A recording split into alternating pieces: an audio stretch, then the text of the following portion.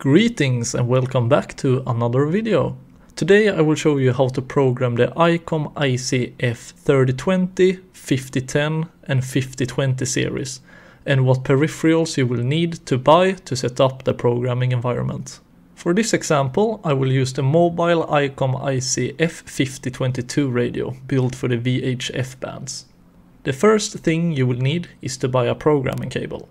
What I recommend is to look at the manual for your specific radio and find the exact cable you need to program your radio. In my case, we can look under the options section and here we can see that my radio uses the OPC 1939 cable. However, when I look at the radio, I can see that I do not have an optional cable slot for the OPC 1939 connector on my radio, as shown in the manual. This leads us to further investigations and in this case I resorted to our good old friend Google and searched for available programming software for my specific radio. I stumbled across a website called Radiotronics UK and looking at the title we can see that my radio is mentioned in the title. On this site we also get access to the programming software you will need to program your radio. Keep in mind these programs can cost money, which it did in my case. Scrolling down, we can see the programming cable required to interact and communicate with the radio. In my case, I will need an OPC 1122 cable. The suffixes after the OPC 1122, for example the letter U, means that it is a USB cable. Once you know what cable you need, you can look up the closest vendor that sells the cable. If you don't mind waiting and want to buy it as cheap as possible, I would recommend buying it from either eBay or Banggood. In my case, I simply searched for the cable on eBay and found one for around $10. Once my cable had arrived, I needed to install the software. And to do that, I first needed to buy it from Radiotronics UK. Keep in mind that your purchase will need to be approved by a worker at Radiotronics UK before you can download it. In my case, it took one day for them to approve it. To install the software, you simply need to extract the file downloaded and run the installer. Once you come to the step where you need to provide user information, you need to enter your name, a company which can be either empty or just your name, and lastly a product ID. The product ID is applied to you in a TXT file with the name ID number and your radio. If you need more detailed information about the software and the installation process, you can read the provided manual. Now that you have the software installed and the needed accessories, you only have one thing left to do before you can start programming your radio, and that is to install the driver for the programming cable. In my case, when I plugged it into my Windows 10 machine, the driver installed automatically, but for my laptop with Windows 11, it did not install automatically. To check if your computer recognizes the cable, you will need to open your device manager on your Windows machine, and under ports, COM and LPT, you should see a COM port called Prolific PL22 USB serial or ICOM USB to serial COM port. If your computer did not recognize the cable, you will need to download the driver manually.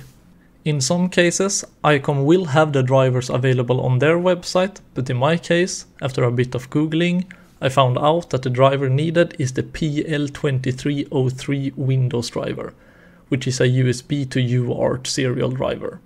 I will provide a link to the website in the description where you can download the driver. Once you have downloaded the driver and extracted the content from the compressed file, you will have two executables. The PL23XX check chip version and the PL23XXM log driver setup. The first step is to run the PL23XXM log driver setup executable. This will install the driver on your computer. Once the driver is installed, you will need to open your device manager again. Now you should see a port named Prolific PL22 USB serial available. Take note of the COM number that the cable uses. In my case, it is COM4, which will be important later.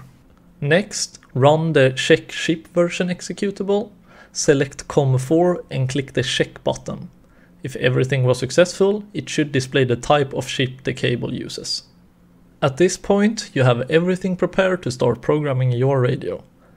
Power off the radio, plug in the programming cable to both the radio and the computer.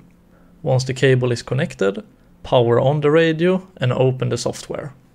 In the top menu, under COM port, select the COM port used by the cable, which in my case was COM4. Read the data from your radio by clicking the computer icon or by pressing the clone menu and then selecting Read TR. Your radio will make a sound and the software will read all the channels on the radio, displaying them in the software.